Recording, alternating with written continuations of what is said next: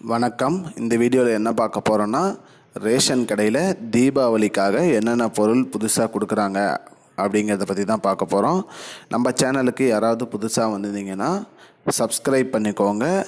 மேலும் இந்த வீடியோவுக்கு ஒரே ஒரு லைக் மட்டும் கொடுத்துருங்க வாங்க வீடியோக்குள்ளே போகலாம் ரேஷன் கடையில் புதிய பொருட்கள் தீபாவளி பண்டிகையை முன்னிட்டு ரேஷன் கடையில் புதிய பொருட்கள் கொடுப்பதாக கூறியிருக்கிறார்கள். அரிசி மற்றும் கோதுமை இலவசமாக கொடுத்துட்ருக்கிற நிலையில் தீபாவளி பண்டிகையை முன்னிட்டு ரேஷன் கடையில் பருப்பு பாமாயில் சர்க்கரை ஆகிய மூன்று பொருட்களும் இலவசமாக வழங்குவதற்காக தமிழ்நாடு அரசு பரிசீலனை செய்துள்ளது.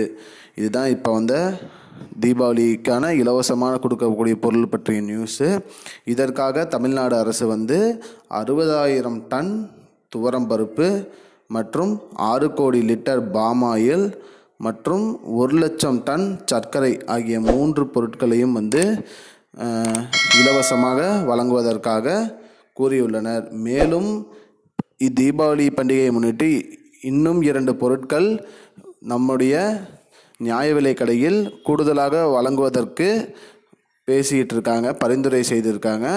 அது என்னன்னா டீத்தூள் மற்றும் தேங்காய் எண்ணெய் ஆகிய இரண்டு பொருட்களும் ரேஷன் கடையிலேயே வந்து எல்லாருக்கும் கொடுப்பதாக அறிவுறுத்தியுள்ளனர். இதற்கு இதுதான் இப்போது வந்த லேட்டஸ்டான அப்டேட் மேலும் இது போன்ற பயனுள்ள தகவலை தெரிந்து கொள்ள நம்முடைய சேனலை சப்ஸ்கிரைப் பண்ணிக்கோங்க. நன்றி. I don't understand your jokes, man. because it's not a joke. முன்ன பின்ன தெரியாத ஒரு பையனுக்காக விடுற அந்த மனசு இருக்க. அதான் கடவுள்